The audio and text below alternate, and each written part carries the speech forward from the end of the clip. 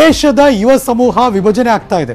ಇದು ತುಂಬಾ ಬೇಸರದ ಸಂಗತಿ. ಟ್ವೀಟ್ ಮಾಡಿದ್ರು, ಮತ್ತೊಮ್ಮೆ ಟ್ವೀಟ್ ಮೂಲಕ ಮುನ್ನೆಲೆಗೆ ಬಂದ್ರು ನಟಿ ರಮ್ಯಾ ಮೇಡಮ್ ಬ್ರೇಕಿಂಗ್ ನ್ಯೂಸ್.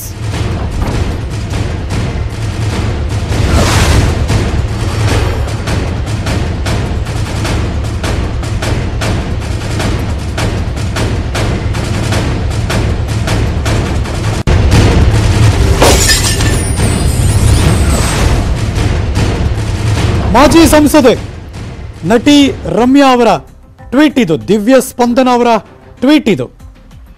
ಅವರು ಕೂಡ ಅಫ್ಕೋರ್ಸ್ ಏನೋ ಪ್ರಿಯಾಂಕಾ ಗಾಂಧಿ ವಾದ್ರಾ ಅವರ ಟ್ವೀಟನ್ನು ಮರು ಟ್ವೀಟ್ ಮಾಡಿ ತಮ್ಮ ಪೇಜ್ಗೂ ಹಾಕೊಂಡಿದ್ದಾರೆ. ಅಟ್ ದ ಸೇಮ್ ಟೈಮ್ ದಿವ್ಯ ಸ್ಪಂದನ, ರಮ್ಯಾ ಅವರು ಕೂಡ ದೇಶದ ಯುವ ಸಮೂಹ ವಿಭಜನೆ ಆಗ್ತಾ ಇದೆ.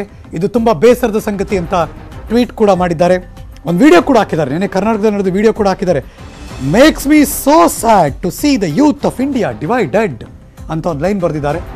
ನಿನ್ನೆ ನಡೆದಂಥ ಪ್ರಕರಣವನ್ನು ಅವರು ಕೂಡ ಟ್ವೀಟ್ ಮಾಡಿ ಒಂದೊಂದು ಅರ್ಧ ಗಂಟೆ ಆಗಿದೆ ಟ್ವೀಟ್ ಮಾಡಿ ಅವರು. ಆ ಟ್ವೀಟ್ ಈಗ ಟ್ವೀಟ್ ಮರು ಟ್ವೀಟ್ ಎಲ್ಲ ಓಡ್ತಾ ಇದೆ. ದಿವ್ಯ ಸ್ಪಂದನ, ರಮ್ಯಾ ಮೇಡಮ್ ಟ್ವೀಟ್ ಅದು. ಅಫ್ಕೋರ್ಸ್ ಪ್ರಿಯಾಂಕಾ ಗಾಂಧಿ ವಾದ್ರಾ ಅವರ ಟ್ವೀಟನ್ನು ಕೂಡ ಮರು ಟ್ವೀಟ್ ಮಾಡಿ ತಮ್ಮ ಪೇಜ್ಗೆ ಹಾಕಿದ್ದಾರೆ. ಅದನ್ನು